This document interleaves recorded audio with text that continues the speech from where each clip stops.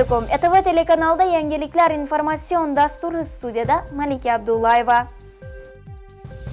mamlakatimizda tarqalgan koronavirus pandemiyasi ko'pchilikning vahimasiga sabab bo'lmoqda ayni damda ellikqal'a tumanida mazkur kasallikka qarshi kurashish maqsadida hamda uning tarqalishini oldini olish uchun qanday choralar ko'rilmoqda bu haqda muxbirimiz sohibjamol madrimova xabar qiladi Koronavirus infeksiyasi tarqalishining oldini olish va uni bartaraf etish maqsadida Ellikqal'a tumanida yo'lovchi tashish faoliyatini amalga oshirayotgan barcha turdagi transport vositalarida dezinfeksiya qilish ishlari olib borilmoqda. Maxsus ust-boshdagi dezinfektor xodimlari tomonidan transport vositalari maxsus eritmalar bilan tozalanmoqda. Shuningdek, o'zining xavfsizligini o'ylaganlar sanitariya epidemiologiya osoyishtalik markazi xodimlariga murojaat qilishmoqda. Mana shu davlatimiz tomonidan ishlar bajarilyapti. Bunda sanitariya stansiyaning osoyishtalik markazi tomonidan avtobuslarni, taksilarni har kuni shu dezinfeksiyalab turibdi, kunda azonda kelib turibdi. Bizlar ham shu ogoh bo'ling tadbirida qatnashyapmiz. Ellikqal'a tumani sanitariya epidemiologiya osoyishtalik markazi mutaxassisi Islom O'razbayevdan koronavirus bilan bog'liq epidemik vaziyat, virus tarqalmasligi uchun ko'rilayotgan choralar haqida ma'lumot oldik. Koronavirus infeksiyasi yuqori nafas yo'llari, shuningdek hazm qilish sistemasi a'zolari zararlanishi bilan kechuvchi o'tkir virusli kasallik. Kasallikning asosiy yuqish yo'llari havo tomchi va fekal oral yo'llar orqali yuqadi. Kasallikning yashirinish davri 2-7 kundan 14 kungacha mutaxassislar tomonidan koronavirus infeksiyasi profilaktikasi to'g'risida jamoat transportlarida dezinfeksiya tadbirlari olib borilmoqda Shuningdek, tumandagi tashkilot va idoralarda ham yuqumli virusning oldini olish uchun ham sanitariya gigiyena talablari bajarilmoqda. Ayniqsa, maktabgacha ta'lim tashkilotlarining hamda talabalar turar joylarining dezinfeksiya ishlari diqqat markazida bo'lib turibdi. Xususan, davlat xususiy sheriklik asosida tashkil etilgan Istiqlol zamon farzandlari nomli maktabgacha ta'lim tashkiloti sanitariya epidemiologiya osoyishtalik markazi xodimlari tomonidan yuqumli virusga hamda zarar kunandalarga qarshi sifatli dezinfeksiya qilindi. Shundan so'ng dezinfeksiya ishlari Ellikqal'a pedagogika fakulteti talabalar turar joyida ham amalga oshirildi. Bu kabi ishlar tumanimizda koronavirusning oldini olish hamda tarqalishiga yo'l qo'ymaslik maqsadida o'tkazilmoqda. Shu o'rinda fuqarolarimizdan ham ortiqcha sarosimaga tushmaslikni so'raymiz. Bu xastalik ham gripp kasalligining bir turi hisoblanadi. Undan himoyalanish esa har bir odamning o'ziga bog'liq. Shu bois Sog'liqni saqlash vazirligi tomonidan tavsiya etilayotgan sanitariya va shaxsiy gigiyena qoidalariga amal qilishingizni maslahat beramiz. Mamlakatimizda amalga oshirilayotgan keng qamrovli islohotlar samarasi o'laroq har bir sohada salmoqli natijalar va yutuqlar qo'lga kiritilmoqda. Ayniqsa iqtisodiyotning yetakchi tarmoqlaridan hisoblangan sanoat qishloq xo'jaligi kichik biznes va xususiy tadbirkorlikni rivojlantirishda to'plangan tajriba erishilayotgan muvaffaqiyatlarga asos bo'lib xizmat qilayotgani sir emas. Ma'lumki bunday natijalarga erishishda tijorat banklarining ham alohida o'rni bor.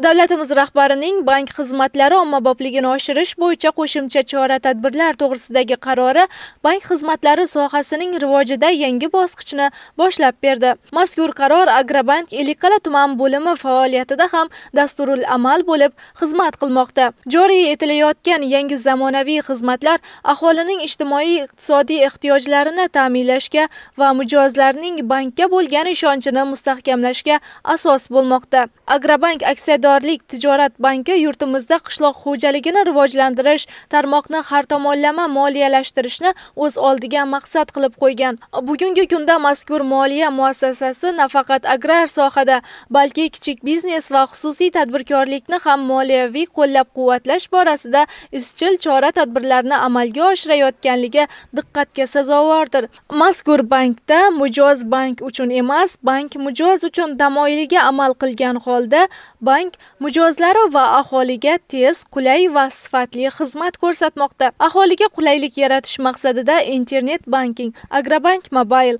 agrobank mobile biznes va boshqa xizmat turlari taqdim etilmoqda. Natijada masofaviy xizmatlar orqali mijozlarning bankka kelish va kutish uchun sarflangan vaqtlari ortiqcha xarajatlari tejalyapti. Ularga qo'shimcha qulayliklar yaratilyapti.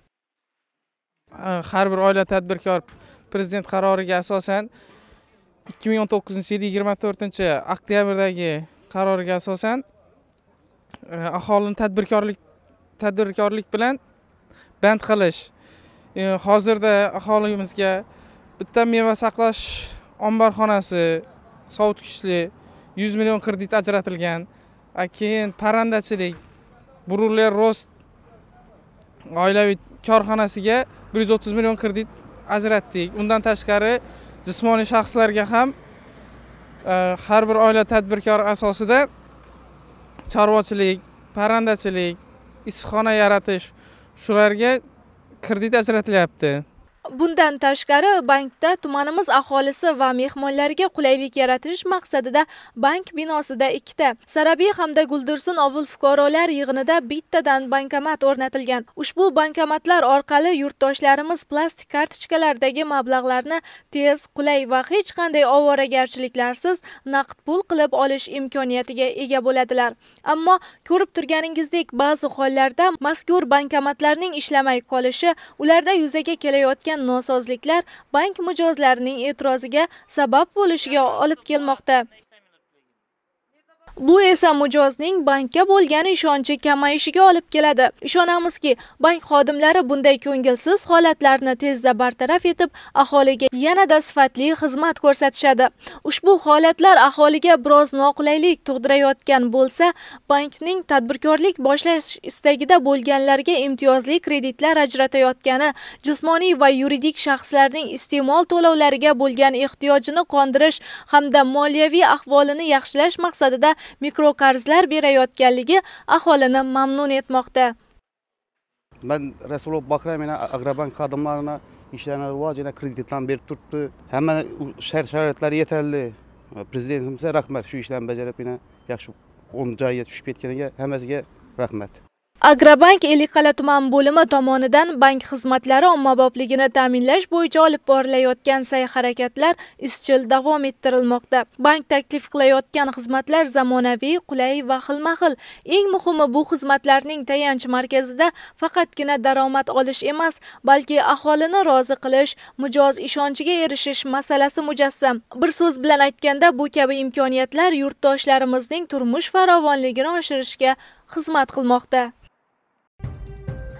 Dasturimiz davomida umumta'lim maktablarida o'tkazilayotgan ochiq darslardan lavhalar berib bormoqdamiz. Hozirgi lavhamiz ham tabiiy fanlar oyligi doirasida tashkil etilgan ochiq darslardan tayyorlandi.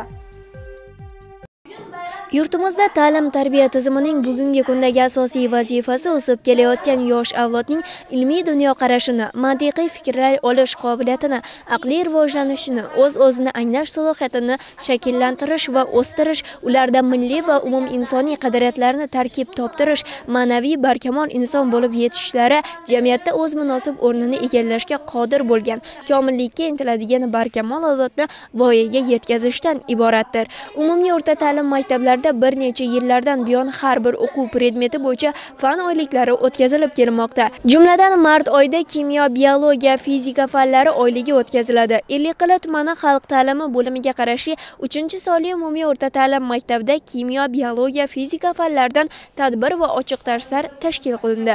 Yettinchi a va yettinchi b sinflarda tashkil qilingan qushlar bayrami o'quvchilarning bilimlarini yanada oshirishga xizmat qildi. Bayram tadbirida o'quvchilar tomonidan barcha turda turdagi qushlar haqida ma'lumotlar va she'rlar aytib o'tildi. Kalibri qayratiyo qushlarga maymun qaramushak baliqchi qorabuzoq e, bo'ron qushlari olusha nor olusha qizildumli fayeton fregat e, katta oqpoton kalibis e, mm, ko'k qarg'a qizilishton sosiq papshak ukki boyo'g'li burgut hakka sava sava gaga qarg'a o'rdak vishidoq o'rdak g'oz e, alusha susur arxengalar Shuni aytib o'tish lozimki, tabiiy fanlar oyligini o'tkazishdan ko'zlangan asosiy maqsad o'quvchilarning bilim olishga bo'lgan intilishlarini har tomonlama rivojlantirish, fizika, kimyo, biologiya fanlari eksperimental fan bo'lganligi sababli nazariy olgan bilimlarini amaliyotda qo'llash, ko'nikma va malakalarini hosil qilish hamda dars jarayonida o'quv laboratoriya jihozlaridan, ko'rgazmali tajribalardan unumli foydalanishdan iboratdir desak adashmagan bo'lamiz. Ushbu o'tkazilgan qushlar bayramda o'quvchi yoshlar savol-javoblarga tezkorlik va aniqlik bilan javob berdilar va aqlni charxlash maqsadida tuzilgan bosh qotirmalarni qiynalmasdan yecha olishdi. qaldirg'ochlar ko'pincha kuni bo'yi havo- havoda uchib yuradi ular bir tuxum qo'ygan paytda ikki yoki uch dona tuxum qo'yishi mumkin Ushbu qushlar bayrami davomi 7-B sinf o'quvchilarining kimyo fanidan o'tkazilgan ochiq darsiga ulanib ketdi. Ochiq dars davomida o'qituvchi ko'plab ilg'or metodlardan keng foydalanib, o'quvchilarning fanga bo'lgan qiziqishini yanada oshirib bordi. Ellikqal'a tumani xalq ta'lim bo'limiga qarashli 3-umumiy o'rta ta'lim maktabida mart oyi kimyo fan oyligi bo'lganligi sababli 7-b sinfda ochiq dars bo'lib o'tdi. Darsda faol qatnashib, rag'batlanishlar oldik. O'qituvchimiz turli metodlardan foydalanib, bizni darsga qiziqtirib kelmoqda. Asoslarning tuzilishi va tarkibi mavzusida o'tkazilgan mazkur ochiq darsda o'quvchilar yangi mavzuni tezda o'zlashtirib olishdi va o'qituvchi tomonidan berilgan topshiriqlarga tezkorlik bilan javob qaytarishgani ularning ko'plab rag'batlarini qo'lga kiritishiga undadi. ellikqal'a tuman xalq ta'lim bo'limiga qarashli uchinchi umumta'lim maktabi yettinchi b sinfida e, kimyo fanidan asoslar mavzusida turli metodlardan foydalanib namunali dars o'tdim biz o'qituvchilarning maqsadimiz e, yoshlarni bilimli va vatanimiz kelajagiga o'z hissalarini qo'shadigan qilib tarbiyalashdir. Bir so'z bilan aytadigan bo'lsak, 3-sonli umumiy o'rta ta'lim maktabida o'tkazilgan tadbir va ochiq darslar o'quvchilarni ushbu fanlardan mustaqil va ijodiy fikrlashga, tabiiy fanlarning turmush va texnikadagi ahamiyatini bilishga va xalq xo'jaligida ulardan qo'llanishi haqida tushunchalar berish va o'rgatishga xizmat qildi. Maktabgacha ta'lim tashkilotida bolalarning har tomonlama rivojlanishi uchun turli xil tadbirlar va ochiq mashg'ulotlar tashkil qilinib kelinmoqda. Ellikqal'a tumani maktabgacha ta'lim bo'limiga qarashli 8-sonli maktabgacha ta'lim tashkilotida bahor fasli va mavsumiy o'zgarishlar mavzusida ochiq mashg'ulot bo'lib o'tdi. Hozir shu haqda Kuni kecha Ellikqal'a tumani maktabgacha ta'lim bo'limiga qarashli 8-sonli maktabgacha ta'lim tashkilotida maktabgacha tayyorlar guruh tarbiyalanuvchilari uchun bog'chaning malakali pedagoglaridan biri Shohista Quranbayeva tomonidan bahor fasliga bag'ishlangan mavsumiy o'zgarishlar mavzusida ochiq mashg'ulot o'tkazildi. Mashg'ulot davomida tarbiyachi bolajonlar bilan yaxshi muloqotga kirisha oldi va uslubiy qo'llamalardan keng foydalangan holda bolajonlarni mashg'ulotga bo'lgan qiziqishini oshirdi. Por it,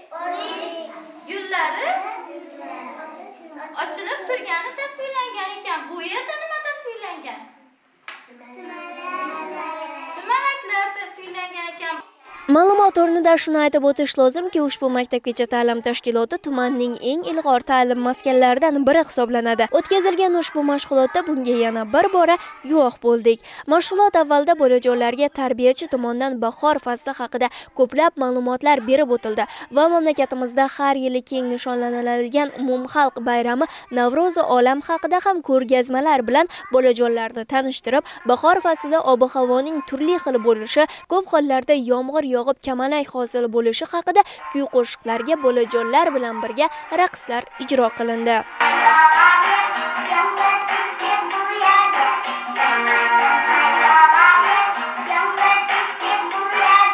bugun bizning e, bog'chamizda ochiq mashg'ulot o'quv seminari bo'lib o'tyapti bunda mening katta guruh tarbiyachim quronboyeva shaxsda mavsumiy o'zgarishlar va bahor fasli haqida mashg'ulot o'tib berdi Shuni ham alohida aytib o'tish lozimki, ushbu mavsumiy o'zgarishlar mavzusidagi o'tkazilgan ochiq mashg'ulot bolajonlarning bilimlarini kengaytirishga bag'ishlangan.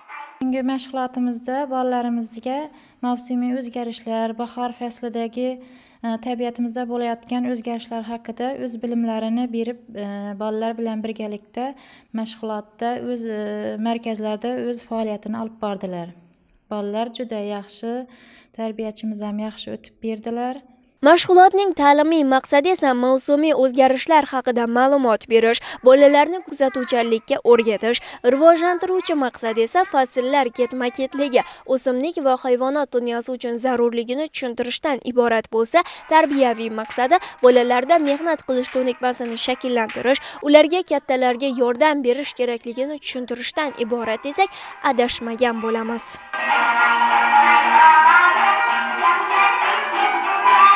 Mana bugun sakkizinchi sonli maktabgacha ta'lim tashkilotida e, ochiq mashg'ulot darslari bo'yicha tadbirga qatnashib kelayotirmiz mana bu tashkilotimizda katta guruh bolalar tomonidan ta'lim tarbiya jarayonini ko'rish ularni bilim saviyasini oshirishda tarbiyachilar juda yaxshi tayyorgarliklarni ko'rganlar.